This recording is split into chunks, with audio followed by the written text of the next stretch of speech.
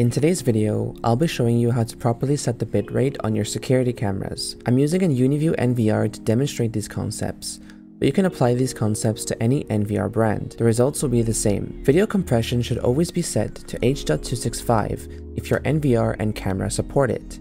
The H.265 video codec saves 50% of the bandwidth compared to H.264 while keeping the image quality the same. The bitrate type should be set to VBR, which stands for Variable Bitrate Encoding. VBR allows your security camera to intelligently adjust the bitrate depending on how much motion is present in the scene. This results in the same image quality with less space being taken up on the hard drive. You can also adjust the image quality slider. When set below 5, it results in smaller file sizes but worse image quality. When set above 5, the image quality improves, but the file size will also increase. I usually leave this on the default setting of 5, but occasionally I'll increase it to 7 for a slightly sharper image.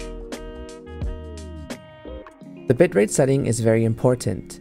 This is the target bitrate which affects how much data the camera will use.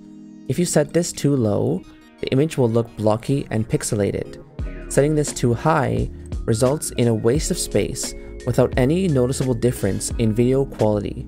I'll usually set this between 4000 and 8000 depending on the resolution of the camera and the amount of detail in the scene. Leaving the bitrate on default settings is also fine. You can increase it slightly to improve the image quality of your camera. I have mine set to 5120 kilobits per second, which offers a good balance between image quality and file size on a 4 megapixel camera.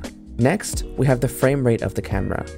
A higher frame rate results in smoother motion during live view and playback, and generally looks more pleasing to the eye. For cameras that you view frequently, you'll want to set a frame rate between at least 15 or 20 FPS. If you want to save hard drive space, you can lower the frame rate down to 6 or 8 FPS. The iframe interval is the number of frames between two iframes. An iframe is basically a snapshot the camera takes every few seconds to see how the video is changing from frame to frame. This should be set to a multiple of your frame rate. The default is 2 times your frame rate. You can also set the iframe interval to the same as your frame rate, which results in slightly smoother video, but also increases the amount of data being used. The smoothing setting affects how quickly your camera changes between high and low bit rates. Increasing smoothing results in a slower change in bitrate, which may cause some details to be missed. I recommend leaving this on the default. Lastly, we have the U-code setting, which may also be called H.265 Plus, Smart Codec, Zipstream, Wisestream, or a variety of different names depending on your system. This is an extra layer of compression designed by the camera manufacturer to save hard drive space. You can turn this on if you want to save your video for a longer length of time, or disable it for the best image quality. Here's a quick comparison with U-code set to basic mode and advanced mode. On basic mode, we save 62% storage space compared to with U-code off. However, the image starts to look muddy, especially the road. With advanced U-code, we only save 50% storage space, but the image looks a lot better than with basic U-code. Setting the bitrate properly means choosing between higher image quality and longer storage times.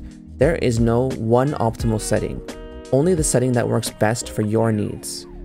I hope you found this video helpful and informative. Be sure to subscribe for more useful security camera tutorials. Thanks for watching and I hope to see you in the next video.